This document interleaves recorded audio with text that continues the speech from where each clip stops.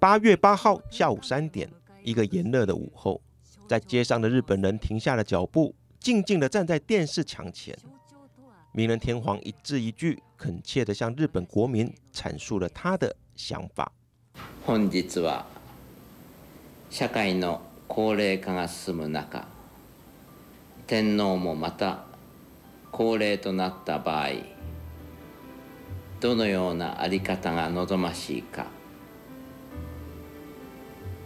天皇という立場上現行の皇室制度に具体的に触れることは控えながら私が個人としてこれまでに考えてきたことを話したいと思います。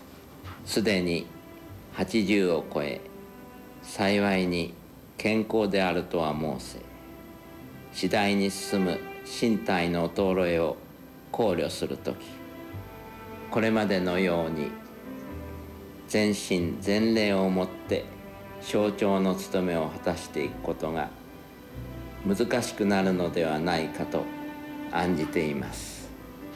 号外です。号外です。明仁天皇二零一二年接受心脏手术，稍早在二零零三年也曾进行过前列腺组织切除。他自认两次手术，加上年事已高，体力不比当年。在这篇长达十一分钟、一千八百余字的录影谈话里，明仁天皇强烈暗示着希望能够生前退位。但日本宪法禁止天皇一切政治性发言，因此他在讲话中措辞非常谨慎，不止一次说这是他的想法。才不是构成违宪。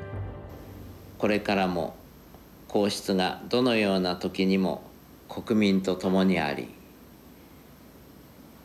相携えてこの国の未来を築いていけるよう。そして象徴天皇の務めが常に途切れることなく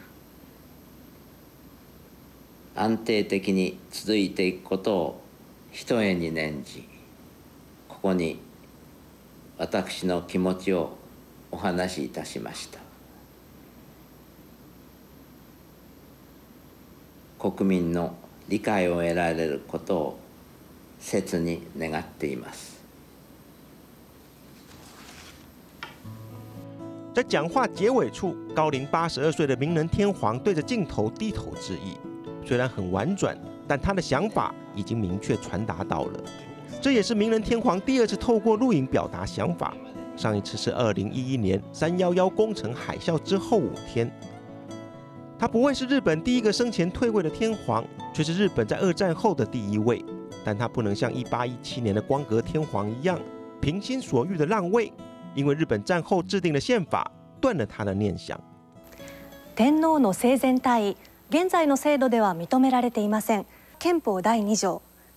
行為は世襲のものであって国会の議決した皇室典範の定めるところによりこれを継承するとあります 皇室典範の第4条です天皇が報じた時は皇嗣が直ちに即位するとありますつまり天皇が崩御した時に限って皇位継承順位に従って自動的に次の天皇が即位する仕組みです明人希望交出天皇之位，理由纯粹是个人与健康因素。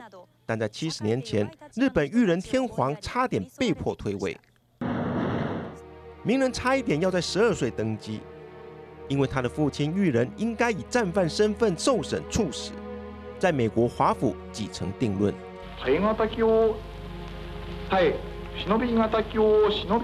一九四五年八月十五号，同样是一个炎热的夏天。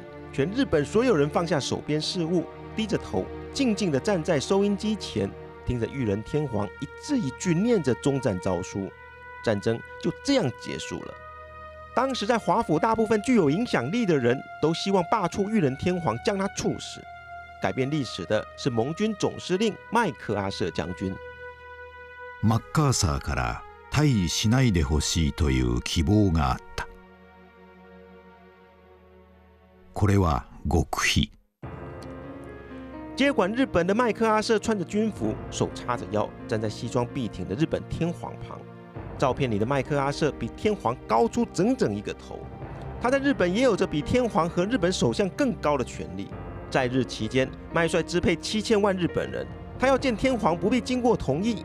麦帅的首要任务是解除日本武装，并且重新制定日本宪法，要日本永久放弃战争的发动权。这即日本宪法第九条。这部宪法中，日本维持天皇制，但从此只是国家的象征，不再拥有政治权利。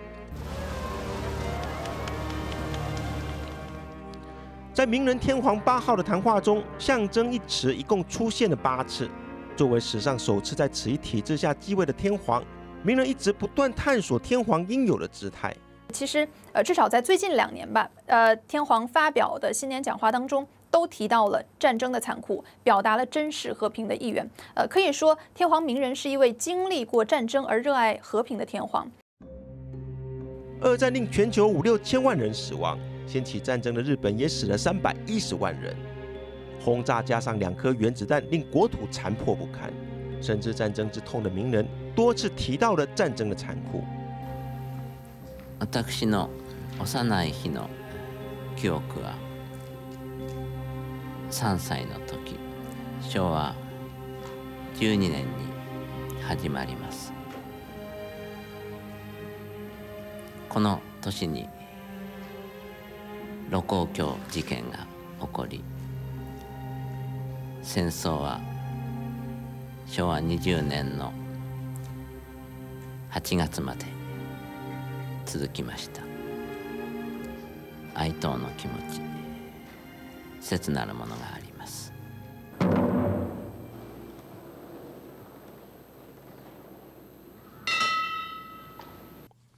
一九八九年，昭和天皇去世，隔年明仁天皇登基，他走下神坛，走出一条与父亲不同的道路。